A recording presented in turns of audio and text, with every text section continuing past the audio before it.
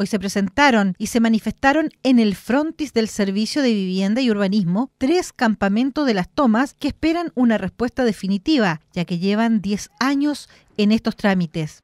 Aquí estamos nosotros como campamento porque ya el Servio a nosotros lo ha mentido mucho. Nosotros eh, somos dirigentes, hemos venido a reuniones, nos han mentido, nos dijeron que el vicariato era el terreno de nosotros para construir nuestras viviendas, que somos tres campamentos. ¿Ya? Campamento de la Toma del Galpón, campamento Raciri y el campamento de Agua Luz.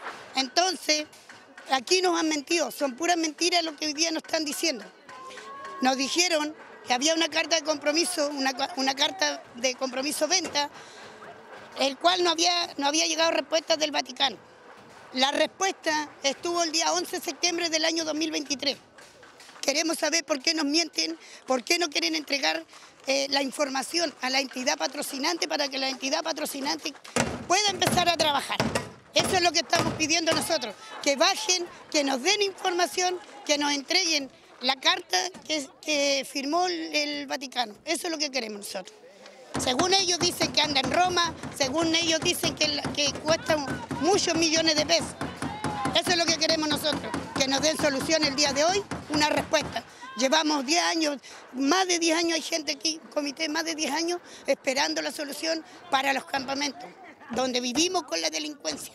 Son tres los campamentos que llevan esperando más de 10 años. Estos son campamentos Toma del Galpón, Campamento Rasuris y Campamento Agua y Luz, que hoy se manifestaron frente a las oficinas del Serviu. La protesta que estamos haciendo es que la CNM lo dé la respuesta total definitivamente del terreno, porque lo venden la pelota para allá y para acá, que vamos esto, que vamos todo otro. Y necesitamos que lo dé la carta de compromiso. Eso queremos, nada más. Perfecto. ¿Una carta de compromiso comprometiendo qué? El terreno, pues sí, ellos supuestamente dicen que tienen dos, terrenos la otra vez. Vinimos a la reunión y dijeron que, tenía, que teníamos, que el terreno era ya del... sí, que era, ese era el terreno de nosotros. Ahora lo ofreció la POMA que ahora recién que eran otro terreno más. Y necesitamos esa respuesta, queremos ese terreno nosotros.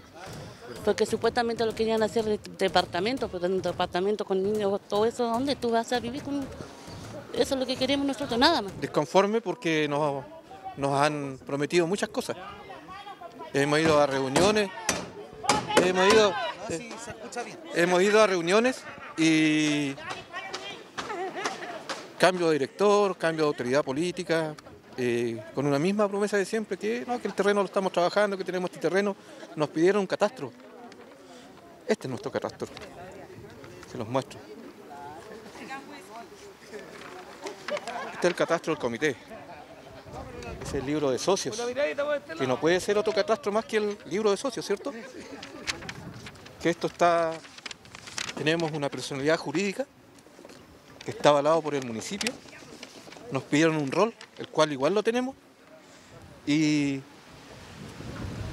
y nos están pidiendo un catastro. Ese es el tema. Yo tengo un WhatsApp se me pide llegar a una reunión para que hagamos un catastro. El catastro es este. Yo se lo entregué, lo tiene la entidad participante, lo, tiene, lo tienen ellos. Es decir, ¿qué, ¿cuál es el problema?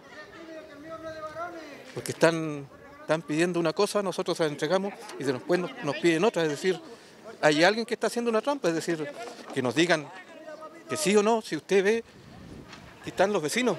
Nosotros somos dirigentes, pero al que le llega la piedra es a nosotros, porque nosotros somos los que venimos a hablar con la autoridad y la autoridad no, nos falta la verdad. Bueno, nosotros conocemos los campamentos hace más de un año, firmamos contratos eh, de asistencia técnica durante este año, hemos solicitado información acerca de un terreno eh, que fue comprometido para los campamentos, que es el terreno del vicariato. Eh, tenemos información que existe una promesa de compraventa del terreno. al solicitar la información, no se nos entregó la información para poder hacer la evaluación técnico-económica de, los, tres comités. Eh, hicimos una solicitud por ley de transparencia que tampoco se nos entregó y hemos transmitido la información a los, comités de campamento y hoy día, claro, se manifestaron, no teníamos antecedentes de esta manifestación, eh, vinimos aquí a tratar de, solucionar los problemas. Eh, pero es solo que no nos han entregado la información y los comités, ellos tienen antecedentes anteriores a que sean nuestros representados, eh, acerca de este terreno Y eso es, pues, quieren la información, necesitan la información, nosotros también la necesitamos para poder avanzar y no se nos ha entregado. En reunión informativa con la prensa, la directora subrogante del Serviu dio a conocer los acuerdos tratados en mesa de trabajo. Efectivamente, sostuvimos una reunión con campamentos, eh, dos campamentos de la, de la ciudad de Coyhaique. Efectivamente, ellos estaban inquietos por una respuesta que no se había entregado por una solicitud que había realizado su EP, que en este caso es Cinta Pro, respecto a la revisión y la factibilidad que tendrían un par de terrenos que podrían permitir soluciones habitacionales para estos, eh, estos campamentos. Efectivamente, eh, tuvimos una reunión con ellos que no terminó hace, hace muy poco, en realidad, tanto con los dirigentes, participó también el diputado eh, Calixto, en la cual conversamos respecto a el proceso que involucraba también la revisión de estos antecedentes, que son también aspectos muy técnicos para ver la factibilidad que no podrían tener estos, estos terrenos. Eh, les explicamos que esto, claro, evidentemente es un proceso que necesita un tiempo de evaluación técnica y que se está trabajando efectivamente en eso.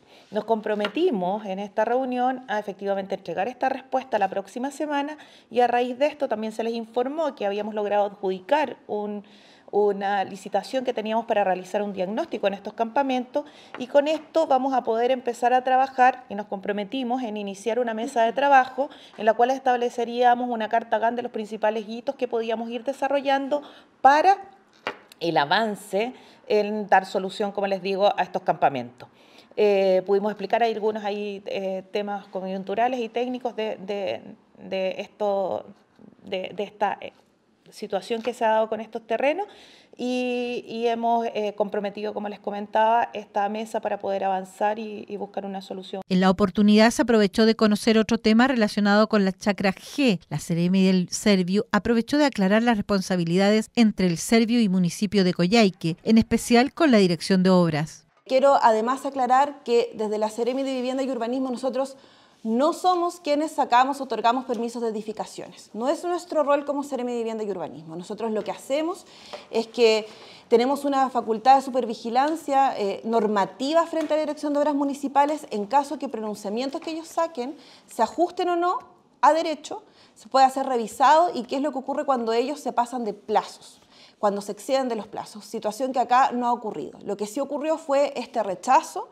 de la Dirección de Obras Municipales, lo que decantó en que las entidades patrocinantes presentaron un pronunciamiento a Ceremi y nosotros luego de un análisis exhaustivo que hicimos, eh, nos percatamos que hay varias observaciones, parte de observaciones que la Dirección de Obras Municipales efectivamente tiene la razón. Nosotros desde la Ceremi, además, en este afán de voluntad junto con Servio, de poder colaborar, de poder dar pronto solución, entendiendo que las familias son prioritarias, vamos a liderar mesas de trabajo, tal y como lo hemos hecho desde hace bastante tiempo, para poder lograr una solución donde acá es fundamental que tanto entidades públicas como son Ceremi, Servio, eh, municipio, Dirección de las Municipales, trabajemos en conjunto por sacar esto adelante, pero también de un rol activo por parte de las entidades patrocinantes para poder subsanar en este caso las observaciones presentadas y que el reingreso del proyecto eh, esté afín para que también con ello aceleremos los tiempos. Además de ello, eh, quiero ser bien enfática en señalar que desde la Seremi siempre y desde Serius se han dado respuestas a la comunidad, hemos hecho reuniones, mesas de trabajo, hemos tenido un compromiso constante, el cual no ha decaído en nada y también un respaldo por parte de los funcionarios. Acá somos instituciones involucradas, hay autoridades políticas que estamos involucradas en este proceso, pero además hay un compromiso fuerte de quienes son funcionarios públicos. Y también quiero dejar eso en claro porque el día de ayer también hubo ciertos comentarios en contra de funcionarios de la Seremi Vivienda o que, que, no, que no facilitan tampoco a que esto pueda avanzar. Eh, buscar responsabilidades, buscar malas intenciones no colabora que nosotros en conjunto y en unión podamos sacar adelante este proceso adelante y que esto se traduzca en que las familias pronto puedan iniciar obras para tener su vivienda. Dos temas que fueron abordados en esta jornada y que seguiremos acompañando a los afectados y a las autoridades con la finalidad de aclarar temas relacionados con las observaciones técnicas versus la falta de voluntad política.